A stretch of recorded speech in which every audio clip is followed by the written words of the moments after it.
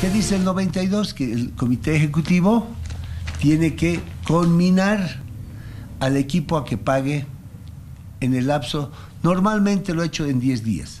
Una vez que ellos hagan eso, nos van a pasar, si es que no han pagado, nos van a pasar a nosotros y nosotros vamos a combinar y decir, señores, jugador, presente su cuenta bancaria, equipo pague esa cuenta bancaria en el lapso de cinco días. No ponen esa cuenta bancaria, nosotros quitamos los puntos. Son sumas fuertes. Aquí están las sumas que deben. Entonces, eso es lo que pasa. Todo lo que ha pasado en el proceso ha precluido, porque están ejecutoriados los procesos, debidamente ejecutoriados y ya no tienen vuelta atrás. Si estamos en, en, juego, es del torneo que está en juego. Si no hubiera juego, es del torneo que viene.